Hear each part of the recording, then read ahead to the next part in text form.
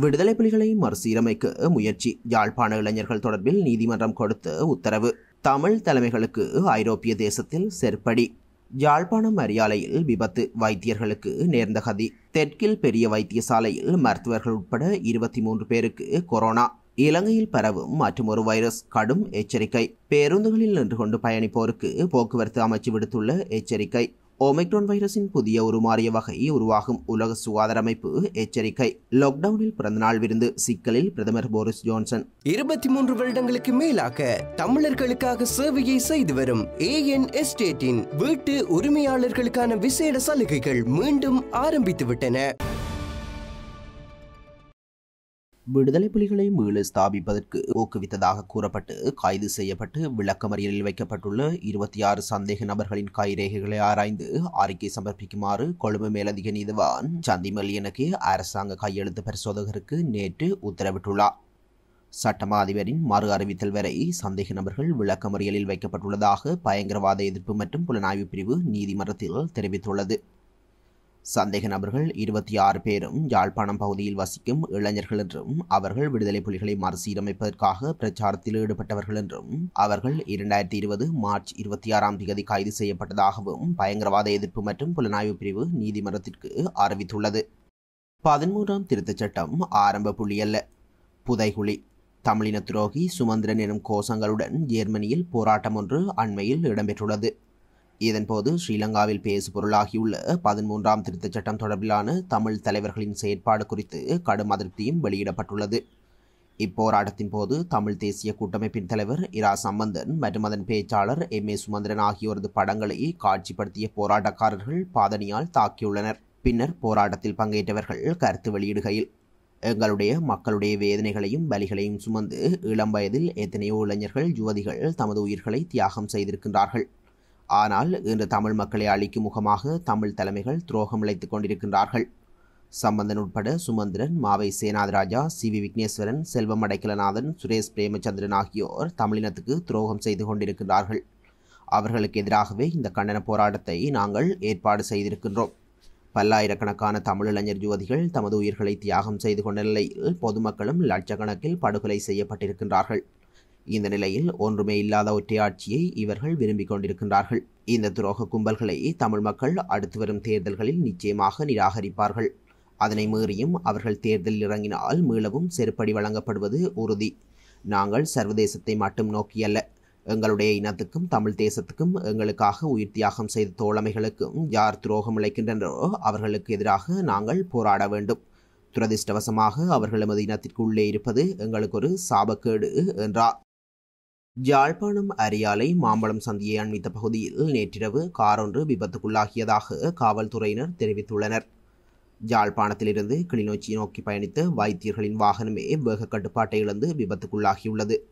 ஜாழ் பிரபல தனியார் விடுதியிலிருந்து வைத்தியர்கள் சிலர் குறித்த காரில் கிளிநொச்சி நோக்கி சென்று கொண்டிருந்த நிலையில் இந்த விபத்து இடம்பெற்றுள்ளது.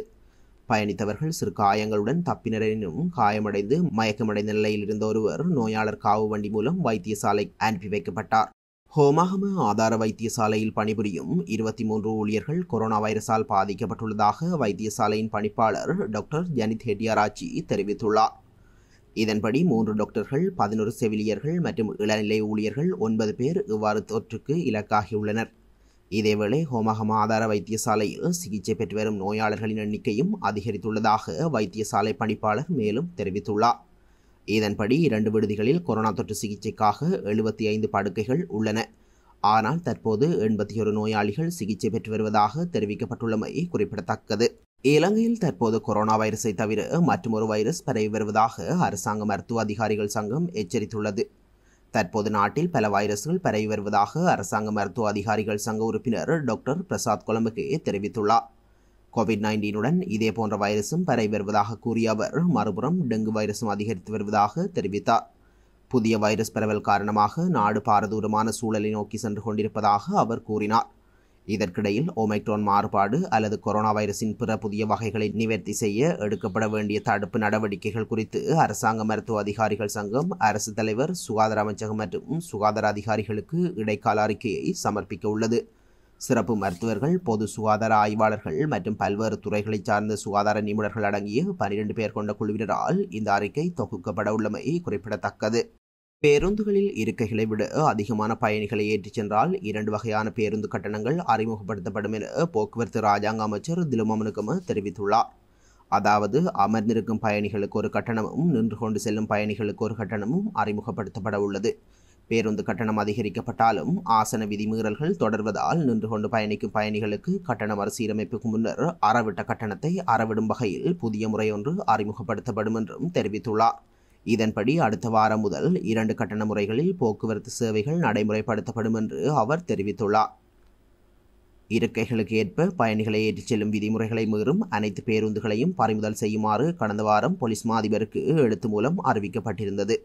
இருப்பினும் பெரும்பாலான பகுதிகளில் இந்த உத்தரவு அமுல்படுத்தப்பட்டுள்ளதாகவும் சில பகுதிகளில் இந்த விதிமுறை மீறப்படுவதாகவும் எச்சரிக்கை விடுக்கப்பட்டுள்ளது. உலகளவில் ஒமிக்ரோன் பரவலானது புதிய உருமாறிய வகையாக உருவாக வழிவகுக்கலாம் என உலக சுகாதார அமைப்பு எச்சரிக்கை விடுத்துள்ளது. ஒமிக்ரோன் புதிய உருமாறிய வகையானது தென்னாப்பிரிக்காவில் கண்டுபிடிக்கப்பட்டு பின்பு உலக நாடுகளில் பரவ தொடங்கியது. முழு அளவில் தடுப்பூசி செலுத்தியவர்களையும் இந்த ஒமிக்ரோன் விட்டு வைக்கவில்லை எனினும் அதனால் பெரிய அளவில் பாதிப்புகள் இல்லை என நிபுணர் தெரிவித்துள்ளனர். இந்த நிலையில் பெருந்தொற்று இத்துடன் முடிந்து விடாது உலக அளவில் ஒமிக்ரோன் அதிக பரவலானது புதிய உருமாறிய வகை உருவாக வழிவகுக்கும் என உலக சுகாதார அமைப்பு எச்சரிக்கை விடுத்துள்ளது. உலகம் முழுவதும் மிக தீவிரமுடன் பரவி வரும் ஒமிக்ரோன் தொற்றினால் சர்வதேச அளவில் கடந்த வாரத்தில் இருபது வீதம் அளவுக்கு புதிய பாதிப்புகள் அதிகரித்துள்ளன. மொத்தம் ஒன்று தசம் ஒன்பது கோடி பேருக்கு பாதிப்புகள் பதிவாகியுள்ளன. எனினும் கணக்கில் வராத புதிய பாதிப்புகளால் உண்மையான எண்ணிக்கை மிக அதிகம் இருக்கக்கூடும் என்றும் குறிப்பிடப்பட்டுள்ளது. கொரோனா வைரஸ் தொற்று காரணமாக இங்கிலாந்தில் ஊரடங்கு உத்தரவு பிறப்பிக்கப்பட்ட வேளை பிறந்தநாள் விருந்தை நடாத்தியதற்காக பிரித்தானிய பிரதமர் போரிஸ் ஜான்சன் கடுமையான விமர்சனத்திற்குள்ளாகியுள்ளார்.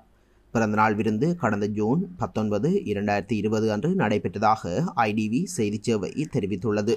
பிரதமர் அலுவலக அமைச்சரவை கூட்டறையில் இந்த விருந்து நடைபெற்றதாக தெரிவிக்கப்படுகின்றது. இவ்விடயம் தொடர்பில் லண்டன் மாநகர காவல்துறையினர் விசேட விசாரணைகளை ஆரம்பித்துள்ளதாக வெளிநாட்டு ஊடகங்கள் செய்தி வெளியிட்டுள்ளன. இது தனிமைப்படுத்தல் சட்டத்தை மீறும் செயல் என பிரிட்டனில் கடும் எதிர்ப்பு கிளம்பியுள்ளது.